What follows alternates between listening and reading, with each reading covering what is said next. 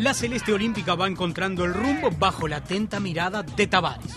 Hasta el próximo lunes, todos están en la mira del maestro, entre ellos Alejandro Silva, jugador de Fénix, que hace tres años nada más comenzó su carrera. Dejé el fútbol en cesta. En ese momento, se sintió rendido. Por eso se dedicó a jugar al fútbol 5 con amigos y a trabajar para ganarse la vida. Y arranqué como almacenero en el barrio.